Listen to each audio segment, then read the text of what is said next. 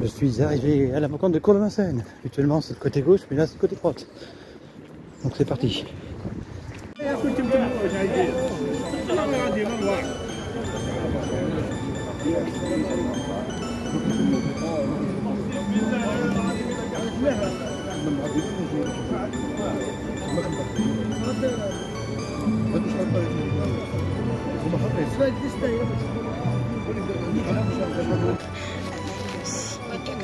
Les deux cuissons différentes, on a deux nattes. On peut faire du poisson, on peut faire du frites.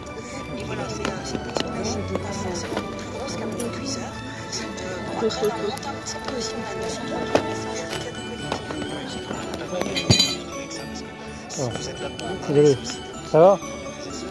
Ça va T'as rien de nouveau du coup à part... euh, Ok. Je les ai déjà. Je les ai déjà. Ah.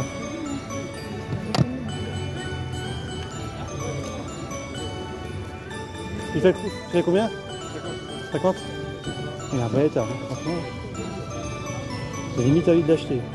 Et les jeunes Israël 904, il fait combien Le maïs Le mas 15 euros. 15 euros, d'accord. Pardon. C'est des jeux. des jeux. Et après, il y a la Wii U blanche. 40, 40, 40. Oups, pardon, excuse-moi. Rayman Legend. Il y a Mario. Ouais. Tu fais combien la Wii U? Là où il y a tout, euh, centre là, Mario, tous les jeux, les cartes, les monnaies, les affaires, Ouais. tout, tous les affaires. Tout ça, tu tout carrément. Là, Ouais. les affaires, tout 100 euros. 100 euros, d'accord. Ouais. Ouais. T'hésites. Ah non, ça fait. Tu fais combien les jeux? Ah oui, c'est toi. 10 euros. Être bien que je reconnaissais les jeux. 10 euros, ouais. Ça, c'est madame.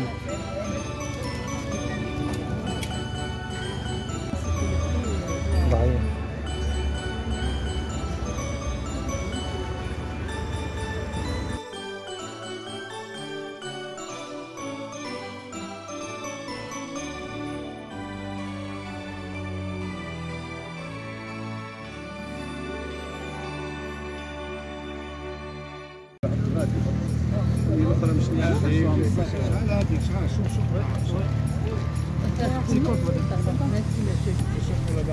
C'est combien ça 70, 30, 40. Ah ok. D'accord. Et c'est parti pour le compte rendu de vide-grenier. Donc j'en ai fait plusieurs euh, samedi et dimanche et du coup j'ai récupéré pas mal de petites choses. Vous verrez à la fin, il y a le meilleur. J'ai récupéré euh, trois Blu-ray pour la somme de 1€ l'unité. On commence par le Blade Runner avec Harrison Ford. Bon celui-là, euh, il y a deux disques, et c'est un collector. Donc très content d'avoir rentré ça, que j'avais pas. J'ai aussi récupéré un film culte, le film Pulp Fiction. Regardez tout le monde qui a. Il y a John Travolta, Samuel Jackson, Uma Thurman, euh, Harvey Keitel, Tim Ross, Amanda Plumer, Maria de Mered, Mered, Medeiros, Ving Rhames, Elix Sods, Rosanna Arquette, Christopher Walken et Bruce Willis qui a pris sa retraite justement il n'y a pas très longtemps, il y a un peu moins d'un an. Donc, donc je l'ai récupéré pour la somme de 1 euro ce film. Et le dernier film que j'ai récupéré, c'est le film X avec Al Pacino, Robert De Niro et Val Kilmer. Donc je n'avais pas euh, dans euh, mes films Blu-ray. Donc celui-là, euh, bon, ah, il est en français. Tout est en français, donc j'ai récupéré pour la somme de 1 euro unité. Donc ça m'a fait 3 euros le Blu-ray. C'est très bien. Et là, nous allons passer aux jeux vidéo. Donc on va commencer par le premier. Pour le full set euh, jeu PS3, je récupère le 50 cent pour euh, pas 50 centimes, mais pour 2 euros. Donc 2 euros, euh, bon c'est très bien hein, parce que le jeu il est pas très commun à trouver. hein. Moi je, c'est la première fois que je le voyais. Je sais qu'il existe sur PS2, mais sur PS3 je ne savais pas. Donc du coup, bah, je les rentre dans la collection. Celui-ci il est complet, ultra euh, complet. Il y a même, euh, il y a même un comment ça s'appelle là Je pense que ça vient d'un cache. Ça. Vous voyez ça Je pense que ça vient d'un cache. Bon, je l'ai payé 2 euros. Je l'ai pas payé dans la cache, je l'ai payé dans une grenier, hein, bien sûr. Euh, il est en français, donc ça c'est très bien que ce soit en français pour la collection. Et c'est le numéro 472, donc il y aura euh, pas les trophées. hein. Il n'y aura pas les trophées malheureusement. On va passer à un lot de deux jeux. Euh, la personne en demandait 5 euros. Bon, moi, je l'ai pris direct parce que 5 euh, euros, c'est plus que raisonnable. Donc, il y avait la, la, boîte du Ratchet et Clank avec le truc qui est en platinium. La boîte est bleue et à l'intérieur, c'est un Rayman Revolution. Donc, bon, je me suis dit, il voulait pas séparer les deux, donc j'ai pas le choix de le prendre. Donc, il y a le Rayman à l'intérieur et la boîte du Ratchet et Clank. Bon, et le jeu le plus intéressant de ce lot, c'est Siphon Filters 3 sur PlayStation 1. Donc le dernier Siphon Filters euh, de la PlayStation 1 euh, avec euh, l'agent Gabe et on a Logan ici. Il y en a, il n'y a pas Xin, normalement il y avait Xin. Bon, enfin bref. Il est complet celui-là, ultra complet. Il y a le CD, bon il est un peu rayé malheureusement, mais c'est pas très grave. Hein. Il y a la notice. Donc j'avais le 1, j'avais le 2, j'avais pas le 3, donc j'avais que le 3 en loose en fait. J'avais que le CD. Du coup maintenant je l'ai en complet pour la somme des deux jeux de 5 euros. Je récupère aussi le jeu 3DS NCIS 3D. Donc euh, acheté à Micromania, hein, apparemment prédécesseur l'avait acheté à Micromania. Donc j'ai payé ce jeu 5 euros hein, euh, parce que bon, il était sympa. C'est vrai que c'est un peu cher, j'aurais peut-être dû négocier un petit peu. Bon, ça reste raisonnable. Hein. Déjà, il est marqué 14 euros. Je pense qu'il vaut un peu plus que 5 euros, donc euh, je suis assez gagnant. En fait, j'ai pris parce que j'aime bien les petits trucs comme ça, euh, les petits trucs d'enquête. Donc ça fait plaisir. Donc il y aura juste à retirer le scotch, les, le scotch, les, prix, tout ça, parce que ça fait moche, je trouve, la collection. Je sais pas pour vous, mais moi ça fait moche. Donc il est en français bien sûr, parce que sinon euh, ça serait en japonais ou, en une autre langue, ça serait un peu difficile à jouer. Mais généralement, les jeux européens, ils ont une multilangue pour ça. Pour l'instant, je récupère aussi deux jeux, mais cette fois-ci DS et pas 3DS. C'est les jeux, on va commencer par celui-là un classique hein, que tout le monde connaît, le Mario et Luigi euh, Voyage au centre de Bowser. Donc euh, celui-là, il est complet. Alors j'ai négocié ce, ce lot de jeux. Vous allez voir le prochain, il est pas mal. Il est pas commun. Il est complet bien sûr, notice, petite euh, carte à gratter qui n'est pas grattée d'ailleurs, regardez, vous allez voir, hop, petit code là qui est ici. Et, qui est rarement, généralement c'est gratté. Mais celui-ci n'est pas gratté. Donc ça fait plaisir d'avoir ça. Euh, je l'avais pas dans la collection, je pensais l'avoir, mais finalement je l'avais pas, donc euh, très content d'avoir rentré euh, ce Luigi, Mario et Luigi au centre de voyage au centre de Bowser. Et le deuxième jeu, il est pas du tout commun, c'est le jeu Korg DS10 synthétiseur, DS10, on va dire plutôt en anglais, synthétiseur. Donc c'est, je pense que c'est un jeu de, bah, de synthé, hein, de son, de DJ, je pense, de musique. Bon, c'est un jeu musical et j'ai regardé, euh, j'ai jeté un œil, un petit coup d'œil sur internet pour voir la, valeur et il vaut dans les 40 euros euh, comme ça. Donc euh, et 180 euros 9 sur blister. Donc je vous laisse imaginer. pas, pas très commun à trouver. Hein. C'est la première fois que je le voyais. Il voulait pas séparer le lot, donc je me suis dit ouais bah pour le prix. Il les voulait à 15 ou 20 euros, je sais plus. J'ai réussi à les avoir à 5 euros le lot, donc c'est très intéressant. Donc je rentre donc ces deux jeux, le Korg et le Mario et Luigi.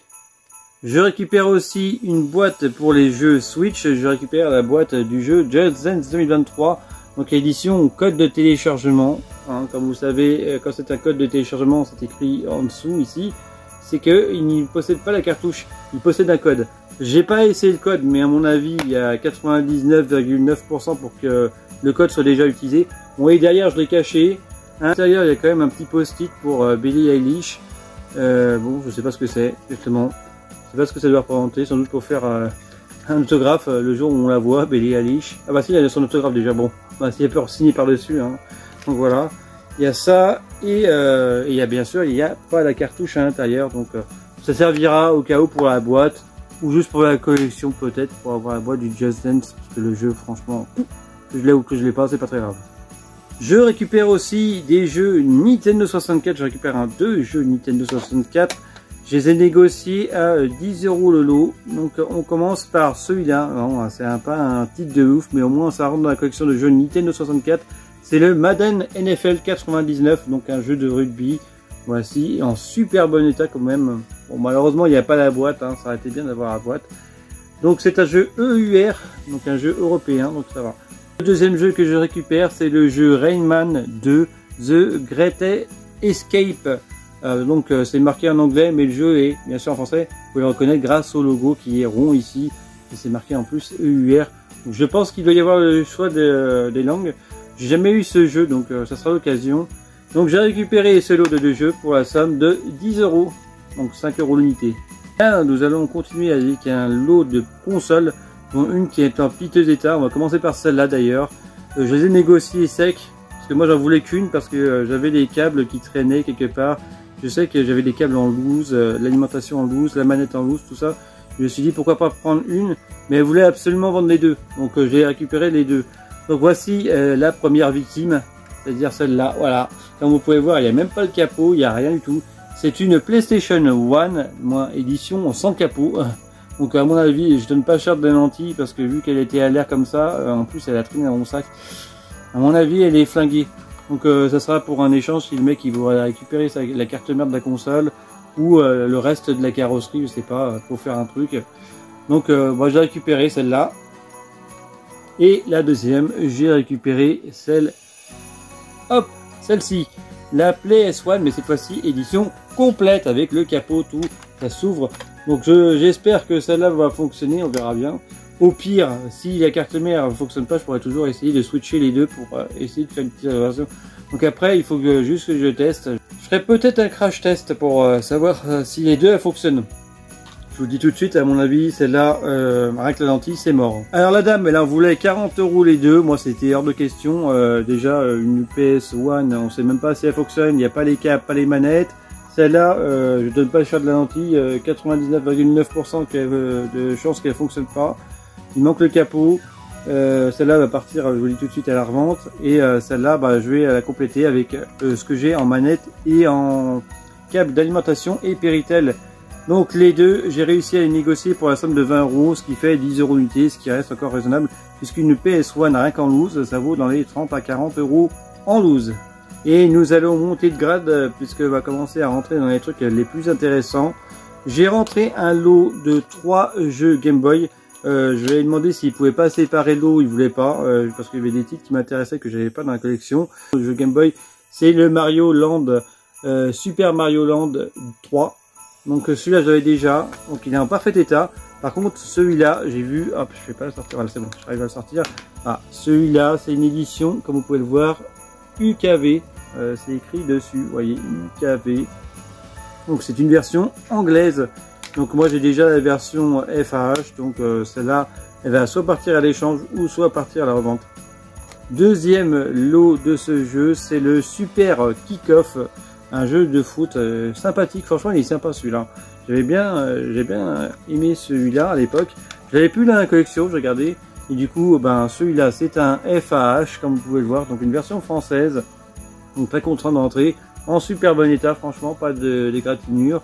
La jaquette nickel en plus, et c'est bien une vraie. Hein. De toute façon, je pense pas qu'il fasse de fausses cartouches euh, sur des kick-off. Donc le kick-off, il rentre dans la collection. Et le dernier que je rentre, c'est une version japonaise de Batman. Batman, euh, le film mythique, euh, tiré du film, pardon. Ouais, vous voyez que c'est bien une version japonaise, elle est facile à reconnaître, hein, ça se voit à la cartouche. Hein. Donc euh, celui-là, il est en parfait état. De toute façon, ça fonctionne avec les Game Boy classiques, il hein, n'y a pas de souci. Donc c'est un petit beat'em all où on incarne Batman. Et si je dis pas de bêtises, j'ai quelques souvenirs de celui-là. J'avais joué à l'époque et il me semble que Batman avait un funk pour tirer sur les ennemis. Donc euh, c'est pas terrible. Hein. Ils auraient dû faire un bat boomerang ou un truc comme ça pour euh, parce que généralement Batman il tue pas ses ennemis, il les assomme à la limite. Ce lot de jeu Game Boy, je l'ai récupéré pour la somme de 20 euros, ce qui est quand même raisonnable euh, par rapport au prix sur Vinted. celui-là déjà rien que celui-là, le Wario, le Wario c'est 15 entre 15 et 20 euros. Et le reste, celui Batman, c'est pareil, c'est 15 d'euros. Celui-là, c'est pas plus de 5 euros. Donc, pas plus mal que je les ai trouvés en brocante. Là, nous allons euh, continuer avec des consoles que j'ai récupérées. C'est à rentrer de trois consoles carrément sur trois stands différents. C'est des consoles de la marque Nintendo, des consoles pliables. Vous allez me dire que ça serait des Game Watch. Et non, ce sont des DS. Donc là, j'ai récupéré un lot de DS en trois stands différents à des prix quand même assez convenables. Donc on va commencer par cette DSi classique, donc édition rouge, euh, bien chromée, vous voyez, bien, bien brillante. Donc juste sale, hein, juste un peu nettoyée, il y a quelques micro-rayures bien sûr. Et, bien sûr, il y a le code barre qui est un peu effacé. Et il y a un jeu intégré à l'intérieur. Vous allez voir quand je vais allumer la console ce que c'est. C'est un titre de ouf, mais j'avais la boîte en loose. Donc euh, ça tourne très bien. Nous allons l'allumer. Et hop. Vous avez vu, il y a le logo Nintendo qui apparaît. Donc ça veut dire qu'il y a un jeu. Plus dessus. Voilà. C'est le jeu Crash of the Titan qui était dedans. Donc malheureusement, il n'y a pas de stick mémoire à l'intérieur, il n'y a pas de, ouais, de carte mémoire, on va appeler ça comme ça.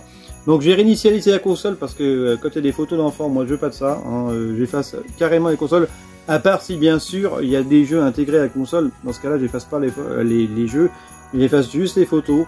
Donc celui-là, il y avait un, mot de passe, j'ai réussi à le faire sauter, donc assez facile. Hein. Quand vous regardez sur internet, vous allez trouver facilement. Donc pas de jeu intégré dedans, et puis je l'ai réinitialisé complètement. Et je l'ai payé la somme de 10 euros cette console. Et il y a même le petit stylet qui va avec. Bon, après, c'est pas la bonne couleur. Hein. Et la deuxième console que j'ai récupérée, c'est la DSi, mais XL, et de couleur bleue. Donc euh, je vais peut-être me faire une petite collection de consoles euh, DS euh, multicolores, donc DS Tank, DS Lite, DSi, DS XL, 2DS et ainsi de suite, 3DS, tout ça. Donc là j'ai rentré la bleue en version XL, vous voyez que c'est marqué dessus, c'est DSi XL donc euh, avec un écran beaucoup plus grand et une épaisseur euh, plus grande de la console. Euh, pareil, cette console fonctionne. J'ai réinitialisé la console. à l'intérieur, il y a une R4, mais par contre, la memory stick, elle est, je crois qu'elle était bloquée. Non, il n'y avait pas de memory stick. Ouais, non, si, elle est dedans, mais on n'arrive pas à la sortir en fait. Elle est bloquée. je sais pas ce qu'ils ont foutu. Ils ont réussi à la bloquer. Peut pas la sortir. On n'arrive pas à la ressortir. Elle est complètement bloquée. Ils ont dû mettre une memory stick qui a rien à voir. Donc à l'intérieur, il y a une R4, là, comme vous pouvez le constater ici. Et, vous voyez, là, on la voit pas. Par contre, il y avait des jeux intégrés euh, dans ces consoles-là, les DS euh, XL. Euh, il y a le programme d'entraînement cérébral que vous connaissez tous. Hein. C'est intégré à la console. Même si vous le réinitialisez, de toute façon, il sera encore là. c'est assez facile à faire, vous voyez, que je l'ai réinitialisé. Il n'y a plus les photos. Et il y a mon prénom écrit dessus avec la couleur de la console. Euh, j'essaye de les mettre, euh, quand je les réinitialise, j'essaye de les mettre aux couleurs de la console. Ça soit mieux. Cette console, j'ai dû la payer entre 10 et 20 euros. Je me rappelle plus du tout. J'ai plus le souvenir. Donc, euh, par contre, ouais, il y a le memory stick qui est bloqué. Mais sinon, elle charge. Et les cartouches fonctionnent dedans. Donc, très content. Et en plus, il y a même une R4 intérieure. Mais bon, qui sert à rien. Parce que pour l'instant, il n'y a pas les jeux dans le stick. Et puis, en plus, elle est bloquée. Donc, il faudra que je la débloque. Et la dernière console que j'ai récupérée, c'est une encore DSi. Et oui, c'est une DSi rouge. Mais attention, si je retire mes doigts, hop, c'est une DSi rouge édition 25e anniversaire. Donc euh, enfin, je la rentre dans la collection, cette console que je cherchais depuis longtemps. Donc euh, un petit peu sale, hein, comme vous pouvez le constater, mais fonctionnel. Euh, avec encore un jeu intégré à l'intérieur. Vous allez voir ce que c'est. C'est un jeu qui est pas commun. le port de chargement, il est en parfait état. Ça, c'est la première chose à regarder quand vous achetez une DS. Hein. C'est toujours regarder ça, le port de, rechargement de la console. Donc euh, voir toujours si elle n'est pas cassée, parce que très souvent ça m'arrive, euh, ça m'est arrivé de me faire avoir et d'avoir acheté une, euh, DDS, une DSi qui avait le port de chargement éclaté. Donc cette DSi contient un jeu, elle est rayée au niveau un peu de l'écran, mais c'est pas très gênant. Et bien sûr, elle fonctionne. Regardez, abracadabra, et elle s'allume. Vous voyez qu'il y a un jeu parce qu'il y a le logo Nintendo qui s'allume. Si je plus dessus, vous allez voir le nom du jeu. Il n'est pas commun. Hop, je vais bien se. C'est le jeu euh, Bangai O Spirits. Euh, c'est fait par 3D Publisher of Europe LTD. Donc à l'intérieur, c'est ce jeu. Bon, malheureusement, bah, il est en sale état puisqu'il n'y a même pas de jaquette dessus. Donc euh, je suppose que ça doit être une vraie. il a même été mordillé si vous regardez bien. Je je sais pas si on verra bien, mais il a été mordillé, truc. Un bébé qui a, qui a mangé la cartouche, qui a essayé de la manger, je sais pas. Bon, en tout cas, la cartouche, elle fonctionne. C'est une version japonaise, hein, euh, le, jeu. Regardez, c'est bien, ça fonctionne bien, mais c'est un jeu japonais. Donc à l'intérieur, pareil, je l'ai réinitialisé, comme vous pouvez le voir, il y a mon prénom dessus, parce qu'il y a toujours des photos de gamins dessus sur les consoles. Donc je préfère les effacer pour éviter d'avoir euh, euh, ça dans ma console. Et c'est mieux pour les personnes d'avant que je fasse les photos.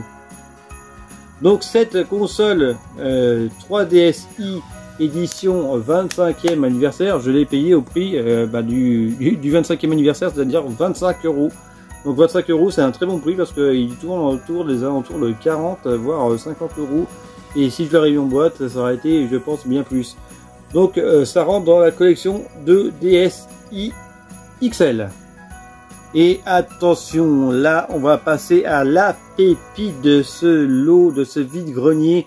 C'est un jeu qui est neuf sous blister, vous avez pu le voir en vidéo. Franchement j'ai hésité à le prendre au début. Je me suis dit est-ce que je le prends, est-ce que je le prends pas? Euh, j'ai réussi à le négocier bien sûr.